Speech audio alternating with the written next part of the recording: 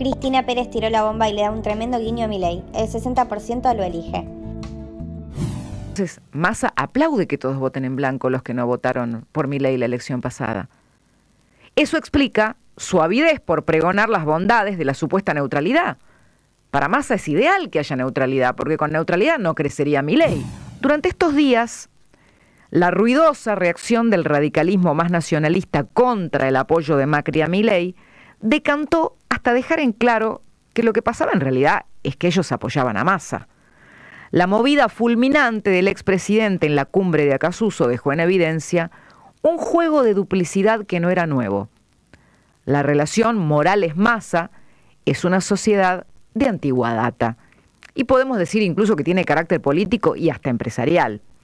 Lo que hay que reconocer es que siempre hubo muchas más coincidencias entre Morales y Massa que las que jamás hubo entre Morales y Macri. Se concentra entonces del lado de un Sergio Massa que aunque ande por los canales de TV repitiendo que él no es kirchnerista, tiene el núcleo duro K como mayor base de sustento y a la señora Kirchner escondida tras el cortinado. Por el otro lado hay la propuesta de un país abierto al mundo, con economía de mercado y una impronta modernizadora del Estado, que no reconoce referentes tradicionales, sino un expresidente como Macri, que comenzó su propio partido como outsider de los grandes espacios, y se concentra del lado de Javier Milei, que además logró conquistar a un electorado joven que no solo siente que no le debe nada al pasado, sino que encuentra en ese pasado, como hijos del 2001, la fuente de una intolerable decadencia. Los que dicen que la dicotomía kirchnerismo-antikirchnerismo se terminó, deberían reconsiderar si acaso hoy no representa una idea de país cerrado versus país abierto en materia económica. La periodista explica la desesperada estrategia de los K rumbo a la segunda vuelta, alentando el ausentismo con el feriado y promoviendo el voto en blanco, que esto beneficiaría al candidato de Unión por la Plata. Si tomamos los votos de la elección general y consideramos las similitudes entre Patricia Bullrich y Javier Milei, podríamos decir o deducir que hay una nueva mayoría de centroderecha con capacidad de imponerse. Y por eso estamos viendo la estrategia del gobierno, que tiene dos partes. Una, alentar el ausentismo con el feriado. Y la otra, promover el voto en blanco. La discusión sobre si votar en blanco es votar por masa tuvo ayer un ejemplo interesante, que yo recién se lo decía a Babi. Si todos los que no votaron por mi ley votaran en blanco, el próximo 19 de noviembre, se reiteraría un triunfo de Massa que elevaría su porcentaje a 55%. Entonces, Massa aplaude que todos voten en blanco los que no votaron por mi ley la elección pasada. Eso explica su avidez por pregonar las bondades de la supuesta neutralidad.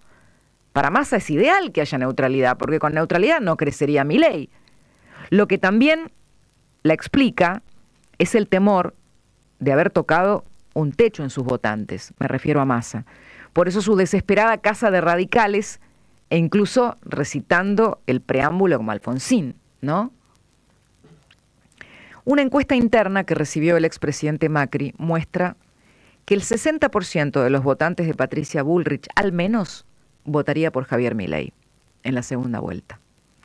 Para atenuar ese traslado, se espera una fuerte campaña de demonización del candidato libertario en las semanas que vienen, que va a proceder obviamente de, de Massa, del gobierno. Y recordemos que Massa cuenta con todo el aparato del Estado para lograrlo y ninguna timidez para usarlo. Del otro lado, Javier Milei buscará combinar una moderación de lo extremo sin perder la frescura de lo nuevo y seguirá teniendo como aliada a la crisis económica. Una crisis que en episodios terminales, como la falta de combustible, sigue enviando un mensaje a toda la sociedad, que esto, así como está, ya no se aguanta más. Además, se revela una encuesta que deja al borde del colapso a Massa, donde muestra que el 60% de los votantes de Bullrich elegirían a Javier Milei en el balotaje. Esto hace temblar a los K y ya preparan una nueva campaña de miedo contra el candidato libertario en las próximas semanas. Están aterrados.